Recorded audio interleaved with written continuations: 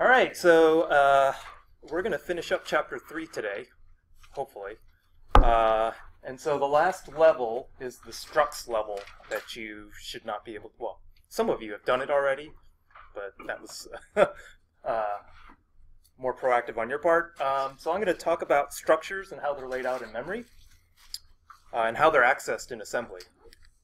Uh, so, uh, to recap, structures are basically a complex data type defined by a programmer. Uh, keeps together and organizes pertinent data of a particular object. Uh, and it typically consists of very simple data types or other complex data types. So you can embed structs inside structs. Um, it's similar to a class in C++ or Java if you've programmed in the object-oriented languages, uh, but without the methods. Uh, that's specific to OOP. Uh, so here's an example from graphics, a point with two coordinates, x and y. Uh, you have uh, an x coordinate that's a double, a y coordinate that's a double. Uh, x and y are called members of a struct point. Um, and so after you declare this struct point, you can then declare instances of the struct point using struct point p1 and p2. So this is your uh, sort of your definition of your data type and then instantiations of it. So given what you know about the size of doubles, uh, what is the size of this struct point in bytes? Two doubles. Any words? No, no, not any words. That's 16 words. In bytes. Oh, words. Yeah. Uh, in bytes. 16. Oh, 16 bytes. bytes. Bytes, bytes. Yeah, yeah, yeah, okay. Yes. okay, yeah, So 8 bytes on the double. So so 64 bits, 8 bytes. All right, and then 8 bytes twice is 16 bytes. Okay. Yeah. Does that mean that the point, the struct pointer actually points to the first object, the first thing inside of it? So it's actually Uh, pointing. Point is being used differently here than pointer. No, no, no. I know. I'm just saying that that means that the first part of that object. That Oh yeah. the Uh, double X. yes. Yes. We'll get. In fact, we're, we're going to get to that layout in memory. Okay. Uh, accessing structures, and this is a recap from the C uh, part of the, the class. So here we've uh, de- defined a point and then have an instance p1 of it. Uh, and you can use the dot operator on the structure uh, to obtain its members. So if you actually have an instance of a struct point, you do p1.x, p1.y to initialize its members. Uh, if you have an, a pointer to that struct, then uh, so here is a pointer to a struct point, and that's the address of p1. Uh, then you can either access the members of that struct using the dereference operator, star pp, uh, dot x, or the short form using the arrow operator, the dash greater than. So these two are equivalent. Um, when you want to initialize structures, it's just like other variables where you can actually, in order, initialize x and y uh, together. All right, so that should be review of what a struct is. Uh, as we said earlier, structures can contain other structures as members. So if I have a rectangle with a bounding box, and I have two points that define the bounding box, that way, that way, uh, what is the size of this struct rectangle? 32 bytes. It's just two struct points, and each one of these are 16. Um, structures can be uh, passed as arguments to functions, and just like all of the other data types, uh, structures are passed by value. You're going to copy that struct onto this, uh, potentially onto the stack, uh, and then and then you're going to uh, basically allocate space for that in, in the function arguments. Uh, this is different than arrays, right? Because in arrays, you're passing the name of the array, which turns out to be an address, and that's actually a reference. So with a struct, if you pass struct point two as a parameter, it's going to copy that struct uh, in there. Okay. So uh, what about this code? Uh, so here we have a struct that contains two arrays, two large arrays. If I call, so I define this struct as foo, and then I call a function with foo as an argument. What does that do? Pass by value or pass by reference? It's So passing take that pointers pointer, by you value. get the two pointers of A and B, right? It's pass. So the question is, is do I copy 400 bytes uh, and then pass it to func, or Yes.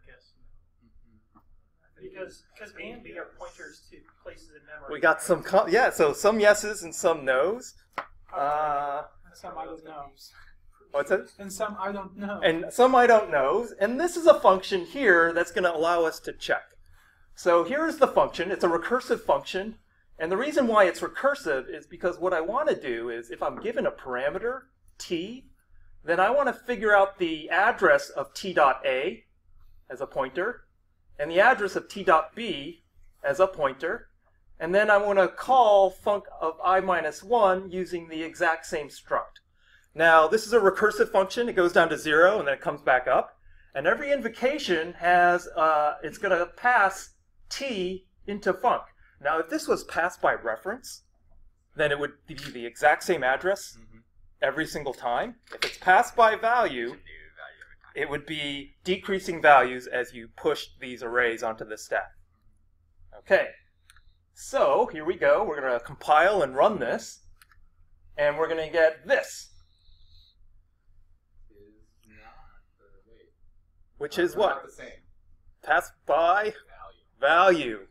It is copying those 400 bytes. If you look at this, Oh, it goes from 8D0 down to 720, and this is hexadecimal, down to 570. Huh. Yeah. Oh, yeah. So yeah, uh, I have this here.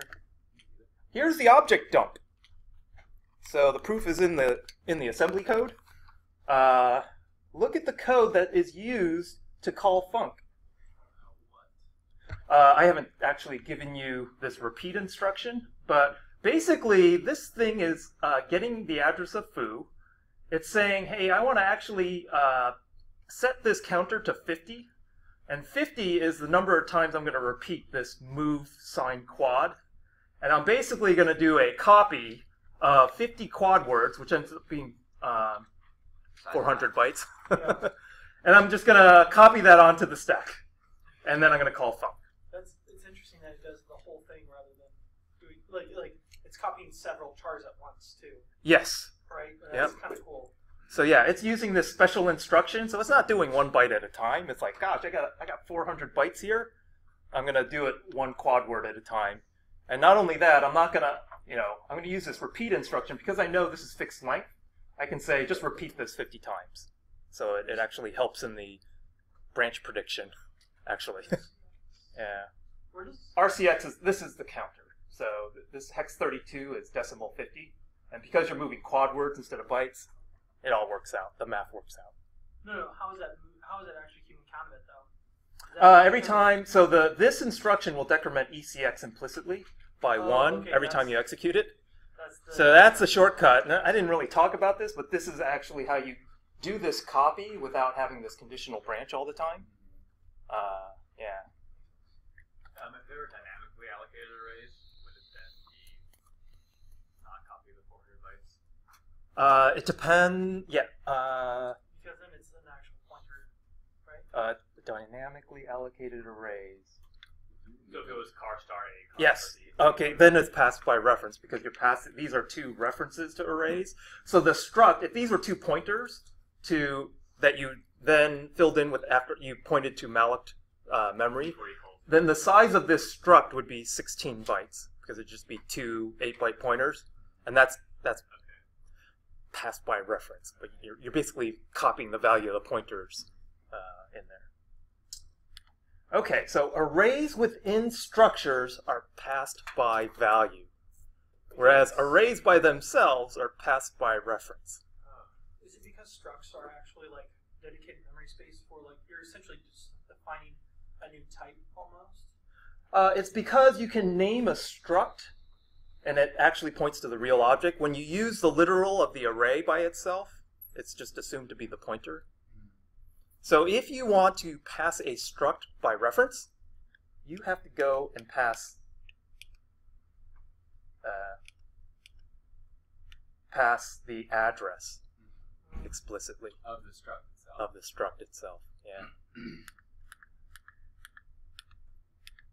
or or I should have gone forward. You need to do this. so here I have uh, again I have my two arrays A and then I have a pointer uh, AP, and I set it to the address of A, and then I call func uh, 2 with AP, and then within this function, I re-implement this taking a pointer, and then I print the pointers, the addresses at, you know, the address of T uh, arrow A and the address of T arrow B, and then I recursively call, and of course, when you run this, this stays the same because you're passing by reference. Question. Um, how does it actually? Where inside of the compilation process does it actually say this struct is actually these things? It has this structure. Is that like preprocessor? Is that assembler? Compiler? That's the compiler. It is the Yeah, compiler. that it is the compiler. Uh, and it's parsing this declaration and saying, I know exactly how to lay that thing out in memory. And I know exactly how, when it's used in these function calls, I know exactly how to marshal the data into that function call to do it statically.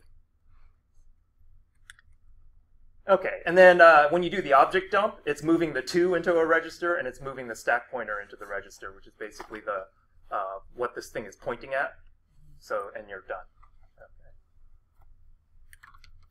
Okay, uh, operations on structures. Uh, the legal operations are you can copy a structure uh, via assignment. This is equivalent to a memory copy. And this is different than strings, which you can't do like that. You have to actually explicitly call a string copy on strings. But on structures, you can do this. Uh, you can get its address as we saw it before. You can access its members. Uh, the things you can't do, uh, compare the content of two structures in their entirety using the double equals. Can't do that. Uh, you have to compare the individual parts. Um, and then the other thing is with structure, uh, with operator precedences, uh, the dot and the arrow have higher precedence than most of the other operators. Uh, and of course, I'm going to bring back your uh, the the list of operators over here, uh, and you see the arrow, the dereferencing, and the uh, or the structure following is towards the top. So this is always helpful to know uh, as you're parsing C code. Okay. What is? There's just symbols at the bottom or something. Oh, that's an accumulated XOR. These are assignment operators. So when you're doing the assignment, the Oh. assignment goes last, right? That would make sense because you have to have the XOR, but you can't have it be the same thing as what we have the overloaded. It's an accumulated XOR if you want. Increment and decrement operators on their choice. Or am I seeing something? They are on there twice, and I don't know why. That's uh, No, prob- which one is Post which fix one and is post fix. correct? Well, one's post, one's pre. Probably post and then pre. The Uh, difference. I- so prefix increments first, then does everything else. So, Postfix here's the uses thing. value. I deleted the description from the slide, but if you go back to the arithmetic, uh, I, I basically pulled these from the other lecture, and I actually might have copied and pasted. One is prefix and one is postfix. Uh, yeah, and I don't know which, and the description got deleted. So, right. Well, I'll fix that again. Uh, that's a brand new ad. All right. So uh, one of the things that you'll see with structures is that they'll be type def. So type def is a keyword in C that allows you to define your own types. Uh, so when you do something like this, type def int length, you're creating a new type called length. You're not creating a variable length. You're basically treating that uh, name as a new type that you're defining. Okay. So after you do this type def, then you can use uh, the length as a type and then side A. And you've seen this already with this size underscore t uh, or the, the time underscore t. Those are type defs that say, hey, use an unsigned integer uh, for this. Um, so when you have it with structs, you can do something like this, where you have a type def struct node, uh, and you define the structure of the node, and then you you name it. You name it my node, and then subsequently you can use my node td rather than struct node td in your declarations, and it's sort of more compact, and you can make it more descriptive. Putting the my node at the bottom just makes it so you don't have to say struct node td. Right? All the time, yeah. Okay. And so it's just a it's that is that part of the that, almost looks more like a preprocessor sort of thing almost. Like uh, the the Still a compiler thing though. is it compiler? Yeah, and if it doesn't have a hash hash mark in there, Oh, yeah. this the preprocessor is mostly string substitution. Uh, I guess that sort of is string substitution, but yeah, not done typ- typically with the preprocessor. Okay. Um, one of the things that you'll often see in C code is self-referential structures. So if you think about a linked list, you have a pointer that's going to point to the same object that it's contained in. So you need this sort of self-referential uh, definition. So this is how you would do it.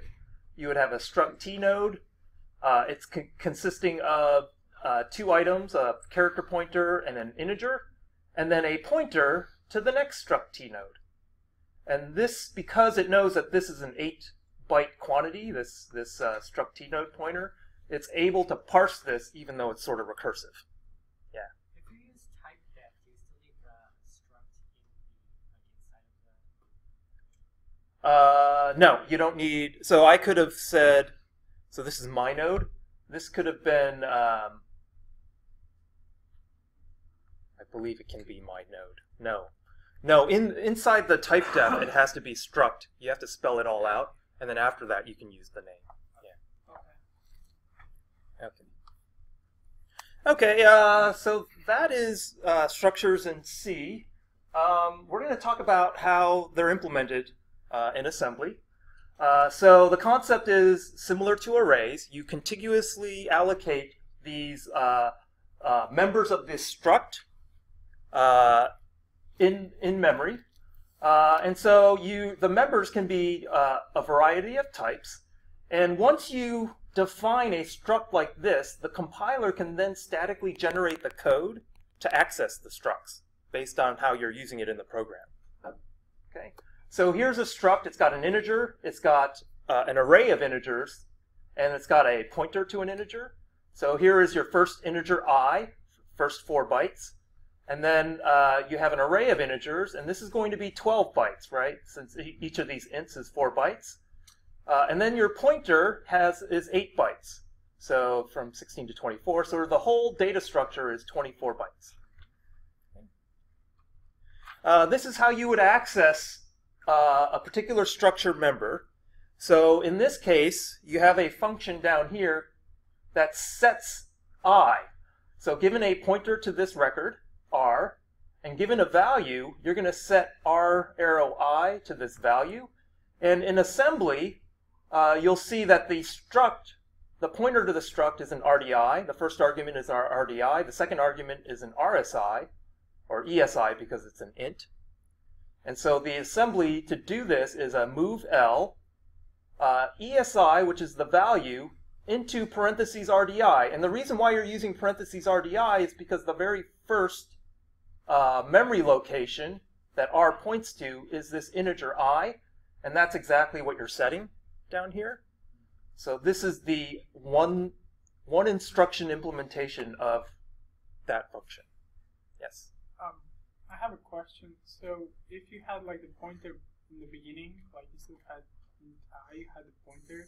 Mhm. So how would would be the memory layout? Because I remember from the CTF where it was like I had uh, to struggle to figure it out, and I someone told me- me, no, no, that's not how you allocate. because I was like computing. now I have 12 bytes, but it wasn't 12. It was 26. And I was wondering why they're 26. Yeah, yeah, I'll get to that. Yeah, but this is these are uh, specifically chosen sizes to make sure that so it all works out in this case. But yeah, we'll get to your case. Uh, yeah, that's my bad for giving that structure uh, assignment too early. all right, but we're, I'm going to answer that question uh, soon. Okay, so here is another function. This says find an element in the array A. So the index is an integer, and then you're given a pointer, and you say, hey, I want you to return the address of r arrow A of index. And what you really want visually is to go into this array A and get the IDX element out of it. So to do that, what you want to return is r, which is the base, plus 4, which will skip the integer i, plus 4 times the index, which indexes you into this memory to get the IDX element. So you would like this to be returned in RAX. when you do this implementation. And this is what you get. Uh, you have R as an RDI. You have the index is stored in ESI as the second argument. So the first thing that happens is that you take 4 times the index and put it in RAX. This gets you the offset into A of that integer that you want. And then the LEA quad 4 plus RDI, that gets you, the RDI gets you to this location, the 4 gets you to this location, and then if you add that to RAX and stick the result in RAX, you're returning the address, the proper address. Yeah. Couldn't you use all four arguments of the, the parentheses to actually do that all in one step? You could do that all in one, yes, Okay. instead of two that's why I steps. was like confused that it's. Yeah, yeah. Maybe I didn't put the optimizations on on, on this one. but yeah, you you could actually try and use. Yeah, Do you could actually put four. ESI RDI four, and then put that into RAX directly.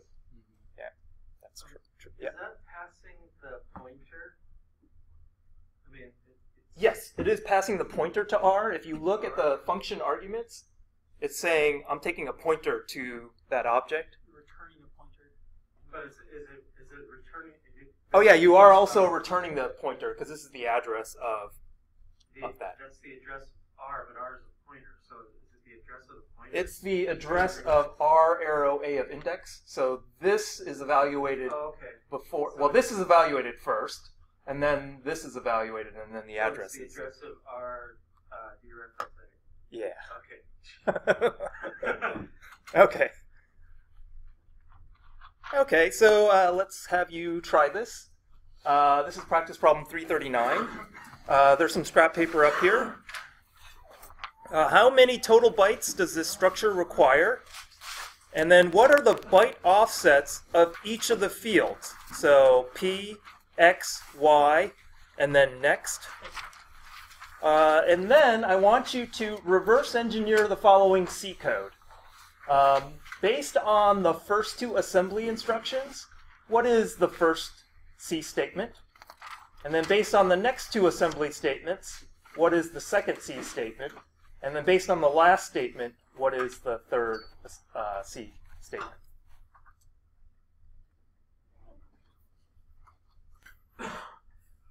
Okay. Um, Hit me, what you got? so the first one was 24. Uh, you have 8 bytes here. Ah, wait. You have 8 bytes here. You have two 4 byte quantities here. So that's 16. And then you have another 8 bytes here for this pointer. That's 24 bytes. Uh, the offsets of the following fields, uh, and because they're stored contiguously, uh, the offset of P is 0, it's at the base. The offset of this integer x, well, the size of this pointer is 8 bytes, so this offset should be 8. Uh, the offset for y, uh, again, 8 plus 4 is 12, so this offset is 12. And then the next pointer is at 8 plus 4 plus 4, so this is at 16. Now the reason why we're calculating these offsets is because they're going to be used directly down here to access these uh, structs.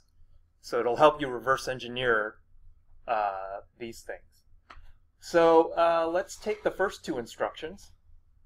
Uh, you go to 12 RDI. What's that 12 RDI? Well, it's s.y?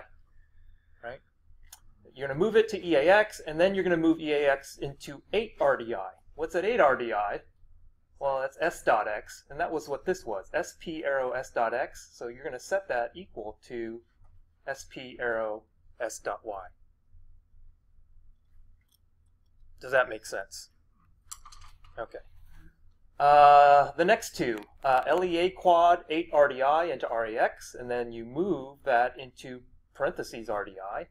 8 RDI, the, so this is going to generate an address, uh, and that address is this location 8 plus RDI. 8 RDI is s.x, so you're getting the address of this. And then you're storing it at parentheses RDI. Well, what's at the base? This pointer P. So this is SP arrow P. What does that get assigned to? It gets assigned to the address of SP arrow S.X. Yeah. Yeah, so Again, this is a nonsense example, just for for uh, just to test. Yeah, yeah, nonsense example, no problem. Uh, and then the last one, uh, move RDI into 16 RDI. Well, what's in RDI? It's actually uh, SP. So this is, and then at 16 RDI, you have your next uh, member. So SP arrow next is equal to SP. Okay. So it's pointing to itself. Yeah, it's pointing it. it's pointing to itself. A great function. Uh, it's too bad it's hardly ever used. Uh, okay. Um, so and this is going to get to the level. Um, when you have structures and members of structures inside of it, uh, the data inside the struct they all have to be aligned at very specific offsets in memory. And there's a reason for this. Because in the end, every access to a member is going to hit the memory subsystem, and it's going to be somewhere stored on memory chips. And you would like your access to that data to be done in one access, one memory access. There is a problem when you've organized your data so that half of it is in one row of memory, and then the other half is somewhere else in the next row. So the idea of aligning data in memory is to ensure that you can get these members in one access. Um, so uh, the explanation is that all all of the low-level memory accesses are done in fixed sizes and fixed offsets, and so what the alignment enables you to get this in one access. So here's an example: if you store a long integer at hex zero at the base of memory, uh, then a single memory access can retrieve that value. Uh, but if you, for example, store that long at hex 4 or at the boundary of a page, then you're basically going to require two accesses to get the both both parts of it. Okay. So that's the intuition for aligning members inside of a struct. Yeah. How big is that memory? How much memory is like? Are they like? How much memory is stored in? Groups of 64 bytes, maybe lines of 64 or lines of you know 16 bytes. It depends on the underlying thing, but usually it's a power of 2 Yeah. uh, on the bottom. which means that your access size, like you should try and align your data so that it you can guarantee that it fits at least in a, in a row, and that's the that's the alignment. I guess I'm still kind of confused um, when you see access boundary and cache line boundaries. These are familiar terms. Oh, So when you say um, align, I, I don't really know. Um, so right now, think of memory as structured rows, and then you want to make sure your data type fits in is guaranteed to be in one and only one row, because otherwise you'll end up if it spills over across two rows, then you'll have accesses in, in both. There's one row being like, A physical memory bank in, in memory, for, oh, okay, for so example. This different when they talk about look at memory as one array at each. Yeah, yeah, that there's no underlying structure that stores the memory. So conceptually, it's like, yeah, a, a, a big blob of memory. Uh, but as it turns out, memory, even though it, it appears to you as one big blob, has structure inside of the hardware chips. So there's, you know, when you apply a certain address, it goes to a bank, and, you know, it gives you the, the bits that are there. Now, if you split your data across multiple banks, that's not good. And that's what alignment is trying to prevent you from doing. And that's all it's doing. So that's addressing access time to the, the hard. Yes, yes. If you had an arbitrarily addressed memory, like, you know, that if you didn't care about how it was implemented underneath, then this would make no sense, right? Like, it, it doesn't matter. You know, you store a long at, you know, hex 33, and it should, you know, if you don't care about how it's implemented underneath, then yeah, you should be able to organize your, your, your data that way. This is sort of understanding that uh, when it's down into the hardware, when you're in the memory chips, or even yeah, anywhere where it's implemented, you're usually storing memory in blocks, in rows, in discrete sort of collections of bytes, and then you want your your integer to be within one collection and only one collection of bytes. That's the intuition. Okay. Um, So, in order to guarantee alignment, uh, if you have a struct of disparate types, then the compiler is going to insert gaps inside of your struct to guarantee that those simple data types are always aligned, that are always within the same row. Okay, so here is the alignment requirements in 64-bit x86. Um, it's actually advised. It's not necessarily required. Um, but the, the rule is, is if the data type has a size of k bytes, then the address must be a multiple of k. Uh, and this will ensure single memory access for that data type. Now with a character, character is one byte, you're guaranteed one memory access, right? So the alignment is one. It can be aligned arbitrarily in memory.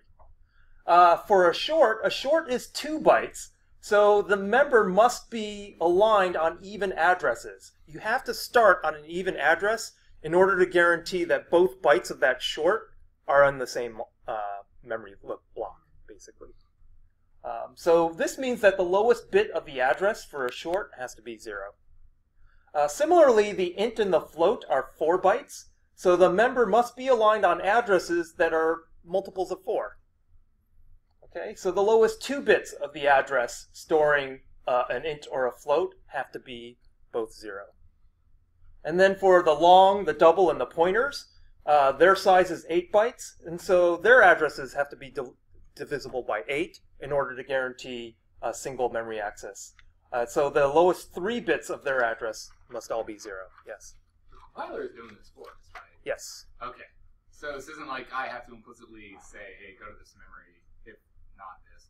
Right. So the compiler is doing the layout for you, uh, but it it helps for you to know the layout so that you know how to organize your structs appropriately. And then when you're looking at when you're doing assembly and looking at addresses and stuff, you can kind of reason like, "Oh, this must be an int because we've got two zeros," or okay. Yep. Okay. That's exactly it. So you kind of you can speculate saying like when you create your struct, you first put like the char, and then you put like probably int, and then at the end you'll put the long and double. That's one way. In fact, uh, yeah, you, except you're stealing my slide. I'm But yes, sorry, I that's all right. All right, all right. yes, I was just thinking about it. yes, yes. That's uh, that's great that you came up with it because then you'll remember that. Uh, yeah. Oh no, he Good. mentioned it, and Uh-huh. I was thinking that like maybe you can arrange them from the very beginning. Yep, that's a that'll be in about ten slides or so. So yeah, we'll get to that. Okay, um, so the uh, so we just talked about every member in a structure must satisfy its own alignment requirement. So if you have a character and you follow that uh, with a long, well, you're gonna have to pad that character with a bunch of padding bytes in order to get that long to be a multiple of eight, an address that's a multiple of eight, right? So that's the that's the deal with with uh, structures and store uh, allocating space for structure. Uh, moreover, uh, not only does each member have to uh, satisfy its own alignment requirement, the overall structure itself must also satisfy an alignment requirement that is the exact same as the largest alignment of any of its elements.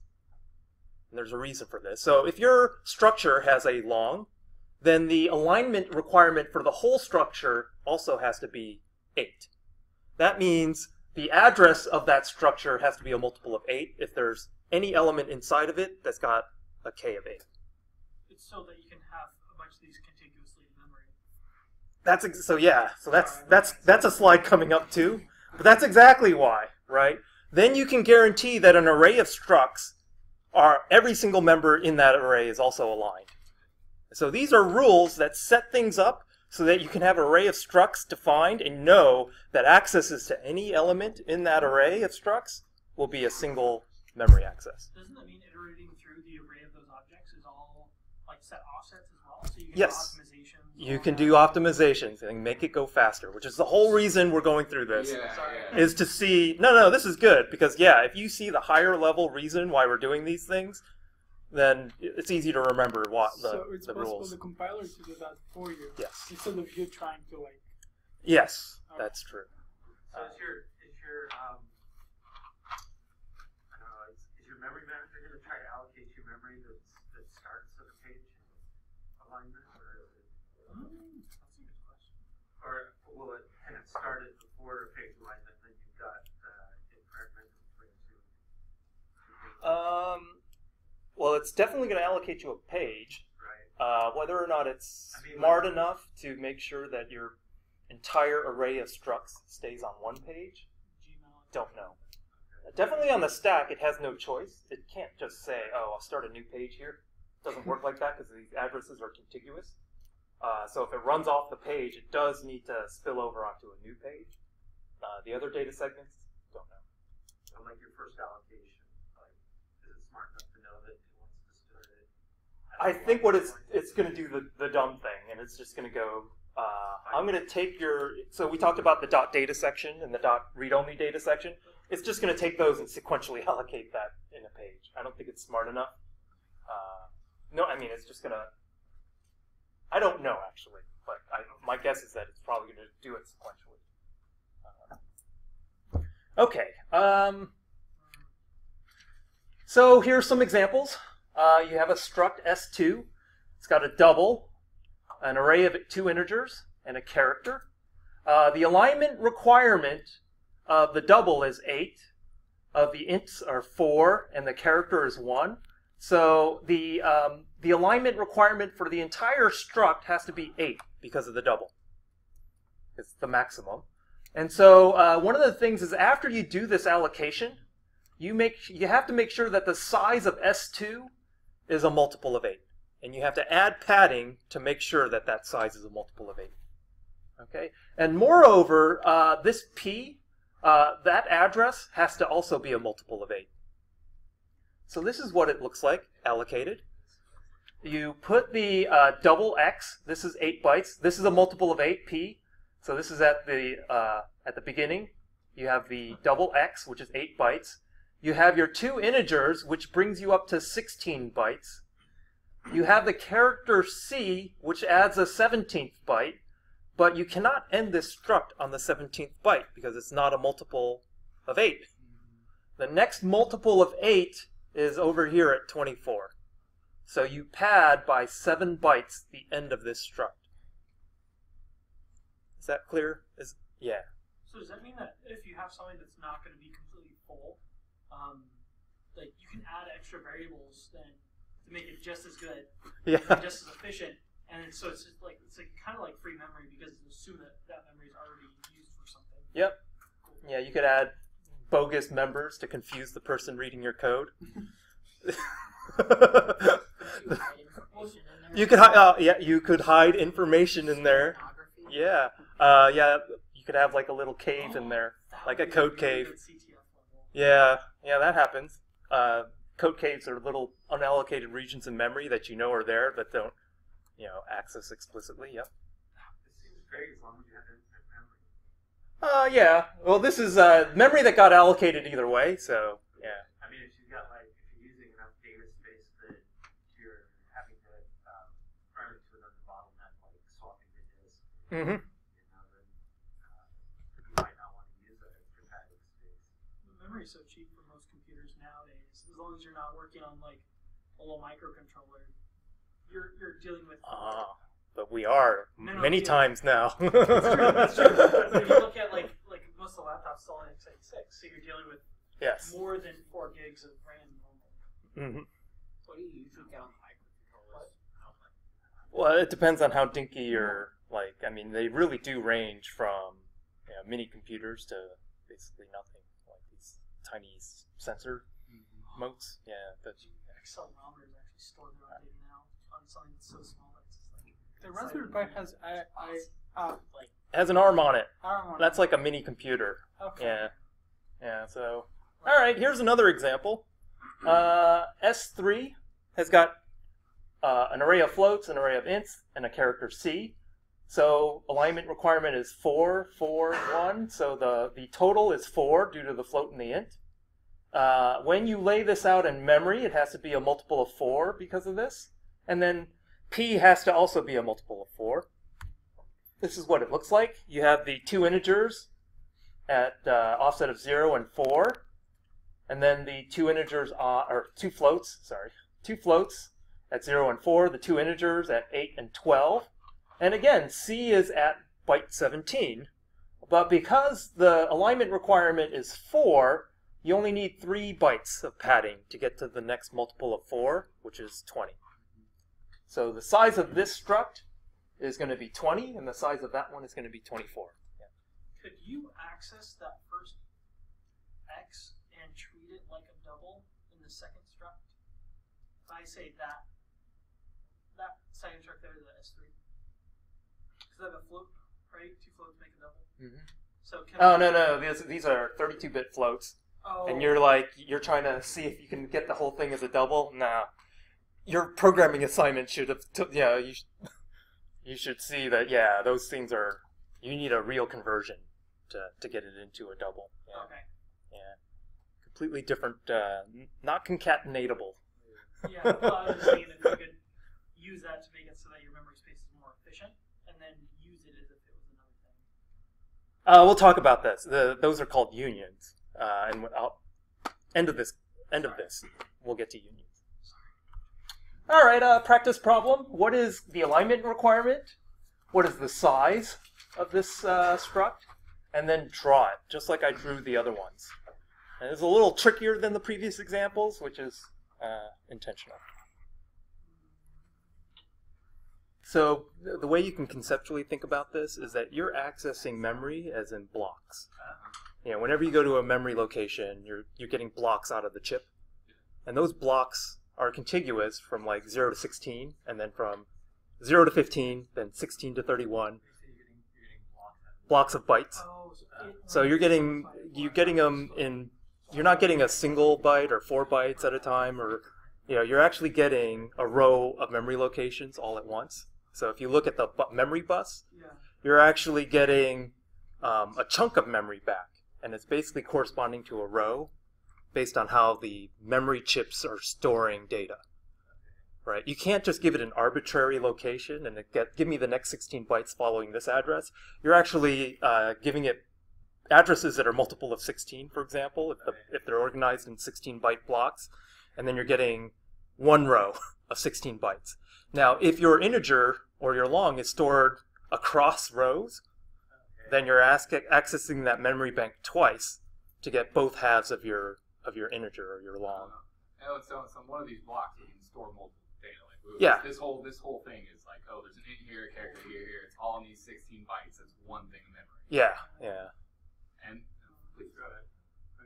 No, I was gonna say, and that's why you don't want it somewhere else, because then it's got to make that jump instruction, and, and it's probably not the next physical block of memory. It's probably, you thousand. Pot- potentially. right, Yeah. and that's the issue. Yeah. And so the padding is just to make sure no other memory gets stored. Yeah, and to make sure that every single simple data type is stored in one has one block as like uh, is within one block, not split across multiple. And then my other question is, if we have a bunch of doubles and it's going to go past these 16 bytes on that memory, it's going to be literally the next step in memory, right? 'Cause Yes. it- you're going to have to retrieve those two blocks. Yep. And that's the whole alignment deal. It's like it'll be just that next step. Yeah, and it'll and those will be aligned as well. Yeah. Okay. Is that good? All right. So what is k for s1? Is eight because of this double. Uh, what is the size? 26, 32. 24. What's all about padding? 24. So this is four, well, three, uh, one byte plus three padding. Uh, and so this is four bytes. This is uh, eight bytes. But then because this is, uh, oh, actually, let me draw it. so here is the character C. And in order to get to a multiple of four, this is a single byte, you have to put three bytes in here. So then you can put two integers here at offsets of four and eight. This will end at 12, but that's not a multiple of 8. And your next thing needs to be aligned on a multiple of 8.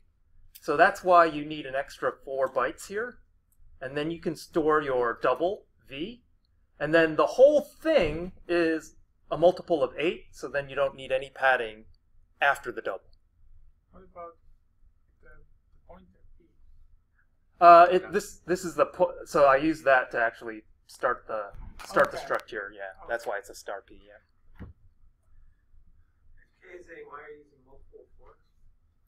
Uh, for the two integers, they need to be aligned on a multiple of four, and then uh, but the size has to be a multiple of eight, uh, and then the alignment of v has to be on a multiple of eight as well.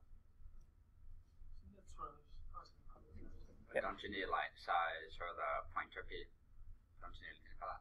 No, no, this is just declaring p to be a pointer to this struct, so that I could put it down here as p. Yeah, that's the only that's the only reason that's there.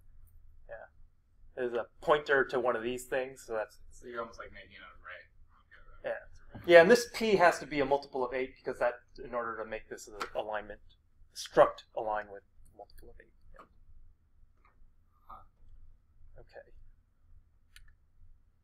Um. Hmm. You guys want to do more of these? Why don't you do the first couple? Those are the easier ones. The first two. Uh, so what you're doing is the uh, offset of each field, the total size of the structure, and then the alignment requirement of the structure. And then you can do the other three after class if you, if you wish.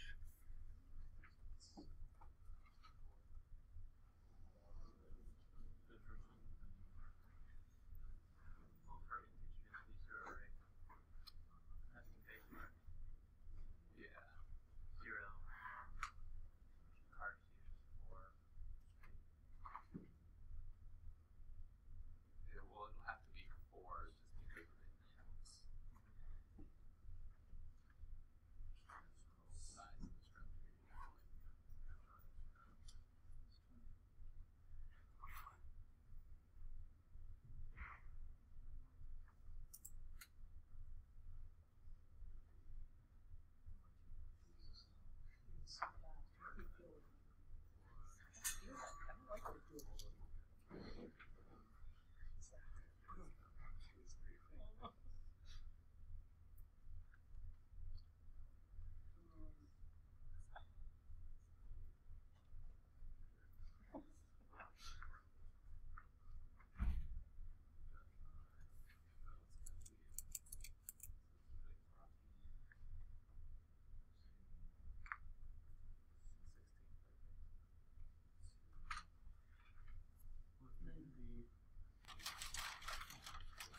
Okay, so uh, P1, uh, int i is at 0.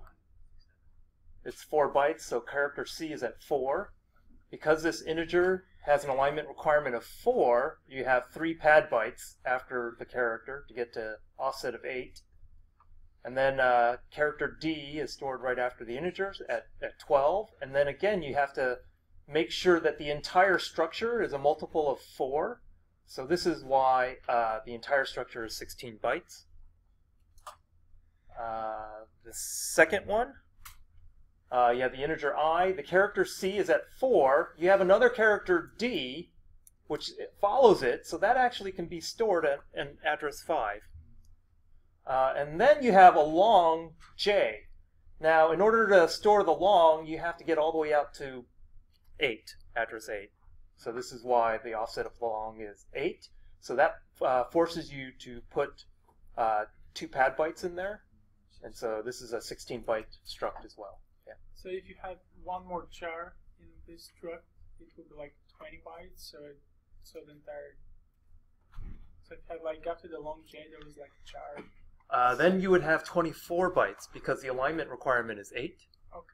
So if there was a character right after this J, then uh, you would need seven seven bytes of padding to make the multiple of eight. Okay, now I understand. The compiler doesn't care about the padding bytes, does it? Like how, how it's reading that memory. It's irrelevant if there's padding bytes in the middle or in the end. It's gonna. It's going to allocate it.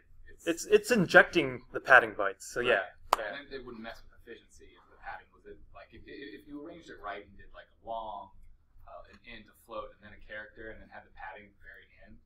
Is that any? more that's the best way to do it. That is the best. So, Yeah. having the padding in the middle bad. Pretty much. Great. So in fact, that's the next. Is that the next slide? Oh yeah, it is the next slide. So you can reorder this thing to reduce waste. So here is character double, character int. Uh, you put the character in, you need seven bytes of pad. Then you've got the double, because the double was next, you need 7 bytes of pad. And then uh, after the double, a character can be placed immediately after, but then you have an integer, so then to get to the next multiple of 4, you have to add 4 bytes. So this is 4 plus 7. Wait, no, 3, sorry. 3 pads of bytes. So 3 byte, 3 bytes here, 7 bytes here, 10 bytes wasted. If you reordered it from largest to smallest, then here's your double. Then you put your int, and then your two characters. Uh, you still need to satisfy the overall alignment requirement. The mul- this has to be a multiple of 8, so you do have two pad bytes at the end to bring that all the way up to 16. Tyler does the reordering. Yep. Uh, no. You Oh, have to. Yeah, yeah, I, I figured the compiler did. Yeah, you have to. All right. Uh, so this gets at what Ryan just said. Uh, when you get something like this, uh, uh, okay, I'm just going to give you the byte offsets. There's a bunch of padding in there. Uh, the total size of this structure, if you do the math and add all the pads, is 56 bytes. And then what you want to do to rearrange the structure to minimize space is exactly what he said. Put the biggest ones at the top, uh, go down in decreasing size order. Uh, so in this case, you store A, which is a character pointer, which is 8 bytes, and C, that's at 8 bytes, and G, that's 8 bytes. So first, those are the first three. And then you go with the float E, which is 4 bytes, int H, which is 4 bytes. That's these two. And then your B, which is this short, which is 2 bytes. And then D and F, which are both single bytes. If you arrange this in this order, uh, you get a 40 byte structure. And that's the difference. Do they auto optimize this? Uh, No, I believe you are supposed. The programmer is meant to do this. Yes. Uh, the the uh, the compiler is allowed to rearrange your local variables because there's no um, semantic associated with doing that apparently, uh, but not the structs as far as I know. But again, I'm old school C89 right now, so maybe. Is it possible to write a code that uh, restructures it for you? Um, yeah, probably to refactor your C code uh, automatically. I'm sure. Yeah, that that's probably got to be an easy program to write. Uh, but yeah. Okay, um, so the reason why we jump through all these hoops is that when we allocate arrays of structures, uh, we want to just be able to guarantee alignment on everything that's in that array, which is what we referred to earlier. And so uh, when you have an array of these structs, the, the way this is allocated is to just repeat the struct allocation contiguously, just like any array. Uh, and so what you do is if there is this, if this is the internal allocation of this struct, it's got the integer and then some, oh, a short, some pad, and then a float, and then a short, and then some more pad. What it'll do is for this, it will just repeat this over and over again uh, in its allocation. And then it can ensure that if you do an arbitrary access to any element here, then they're all aligned. And that's what having this be a multiple of the alignment requirement really helps you do. It keeps that starting address of the array element as a multiple, uh, as the correct multiple. So that's basically, this is the result of everything that we just talked about is what we're getting to. This is, this is why we're doing it. Except that you don't have this ordered well. Oh yeah, I don't have this ordered well, but uh, at least operationally now, uh, uh, the the code that gets generated to index this is much easier. Okay. Let's see. So this just recaps exactly what I stated. Following the rules, alignment is achieved on everything. Uh, so I'm gonna skip this, and I'm gonna skip this one too. Okay, so that's structs. Any questions about structs? That's all we're going to cover with it. Okay, so the next data type, which you probably haven't come across, is a union. Uh, and a union is a variable that looks like a struct, but all of the members of this union are laid on top of each other. They're all using the exact same memory location. And semantically, you have to, just like you uh, sort of, almost like a cast, where you're reinterpreting, interpreting the bits differently based on the type that you're accessing it with, it's the same thing with a union. Uh, so you can access this union either as a character, as two integers, or as a single double, and it's stored in the exact same memory location, and you're typically using it as one type at a time. So this is really useful when you have resource-constrained systems, right?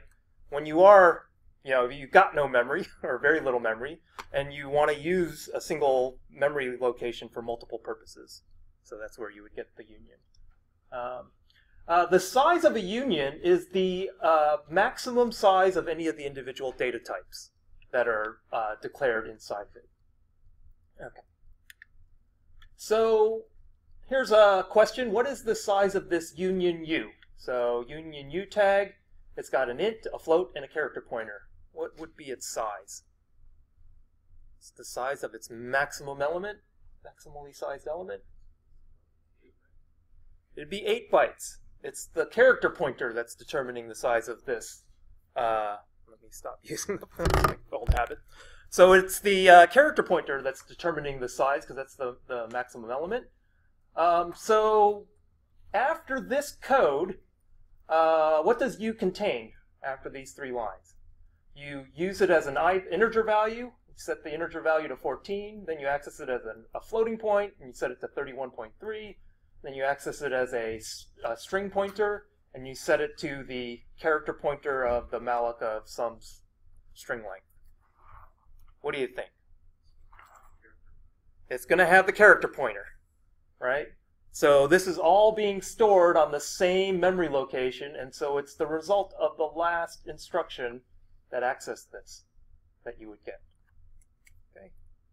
So when you say same memory location, you mean like base address zero? That's interpreting them all differently. Little, so say this is stored at hex 100. Yeah. Uh, it's uh, this is going to be hex 100 to hex 107. It's going to be stored in the 8 bytes starting at hex 100. And when you do something like this, this is going to set those bytes at hex 100 to be the integer 14. And then as soon as you uh, do this assignment, then it's going to put the floating point representation, the 32-bit floating point representation of 31.3, it's going to put that at those 8 bytes. But it's only going to use the bottom 4 bytes because it's a... So you can still access all three of these members then? You can access them individually, but their value is based on the last thing that you assign to it. Okay. Yeah. Okay.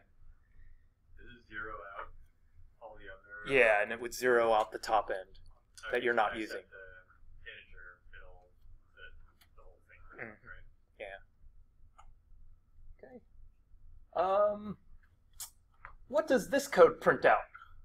So we have the same union, an int, a float, a character pointer, sval, and there's a reason why I gave you this now instead of in chapter 2, because it would have made the float convert level way easy.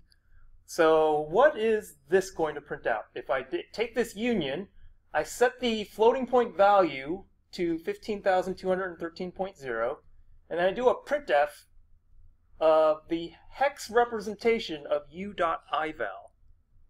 What might that do? Convert it to an integer and print it out. It doesn't do any conversion. Charges reinterpret. Bits as an integer, and then print out the hex representation of that integer, whatever the hell that Yeah, that would be the IEEE 32-bit floating point representation of 15,213, eh? Oh yeah, that would have been helpful. I think most of you have finished the float convert level because if you ha- haven't, there's your shortcut right there, oh boy. right? Because I gave you hexadecimal, right? You could actually set this ival to that hexadecimal thing and then do a printf percent %f of u.fl and be, and be done with that level. So yeah, you could do that in C by do, using this union, going back and forth between the, the hex representation and then the floating point value, back and forth. Okay, so any questions about that? That's unions. Uh, yeah, so this is the hex. So this is the IEEE, the hex representation of the IEEE float 15,213. So if you were given that, as part of your CTF level, then you would just put that in, and then you would be done. Yeah. Okay. All right. Uh, the next thing we're going to talk about are bit fields, um, and this is a shortcut that you see in operating systems uh, and in like embedded devices. Um, if you have multiple Boolean variables, um, there's a way of saving space by making them bit fields rather than allocating a, an entire integer to each flag. So like the, um, for the condition code flag register, you know, each one of those is a single bit, but you don't want them to be in like individual registers. Uh, you want them to take up exactly one bit. So the same thing with flag fields, um, and this is used in device drivers and, and, and operating system calls. Uh, the example of this is the open library call. So when you want to open a file, typically you have to uh, tell the operating system how you want to open it. Do you want to open it for read-only access? Do you want to open it for read-write access? Uh, so these are flags that you send the library call, and the way they're implemented is using these constants, uh, ocreate, uh, owrite-only, otrunc, and these are bit fields of a single integer. Is basically how this. So if you look at this parameter, uh, open takes a string and an integer, and the way you're using this integer, you're going to address individual bits of the integer using these flags. And the way this works uh, is to do something like this. So if you, um, when you include this open call, I use the pointer. When you include the open call in your C program, you have to include a file called fcntl.h, and this is the file that turns this, using the preprocessor, turns this into integers. Or in this case, this is binary. These are binary, um, oh wait, no. This is octal? This is octal with a zero in front of it. so I couldn't find a hex version. Uh, but basically, these are single bits that are set in different locations of that integer, and that's how you specify whether or not the flag is, is on or off uh, based on these bit fields. So just wanted to show that to you because it's something that you might you might come across. Um, here's an example of implementing it using hexadecimal. So this this probably makes more sense. Uh, you could implement these flags as individual bits set in these hex constants. And then when you want to set these flags in your, so you have a flag field, you could say, hey, set the A bit and the B bit, and that would set the last two bits. And then uh, if you pass flags as an argument to like a, uh, a, call, it can pick off those bits um, as those flags. But this only works if you have four bits, you're saying? Uh, typically, this is stored as an int. Like you're using a single integer to pass this flag field, and then you'd have 32 flags. So you could go A through Z and then start using other things. So, okay. You could use a char.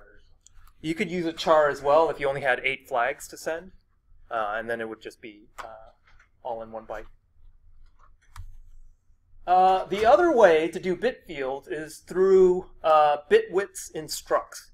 And so this is something you probably haven't seen before, but you can just take this struct and say uh, this is an unsigned int, uh, and this this uh, member has a bit width of one, and that will use a single bit. And if you see another one that uses a single bit, you can basically use the same unsigned int to store both of these flags. And the compiler will automatically figure out the bit positions in that integer to use for each one of these members. Okay, so out of convenience. Um, so uh, for this data structure with three members, uh, each one bit wide, uh, what is the size of this struct? Well, it's the size of the unsigned int that's used to store them, which would be four bytes in this case. Uh, but if you had 33 one-bit fields, then the size would be eight, eight bytes, because then you'd have to have another integer storing that, that spillover bit. Okay.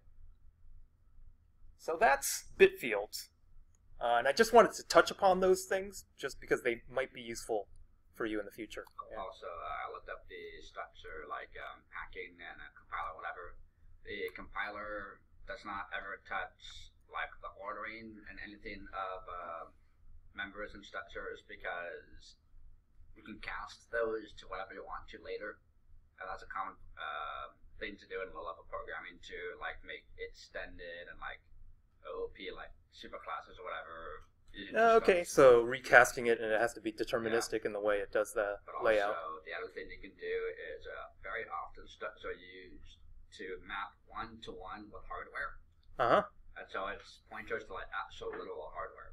So like I can define a struct in um, my program that like when I access a struct member, it turns on my keyboard or turns off my mouse. So like, so those are actually defined like one to one like ratio from memory to actual hardware.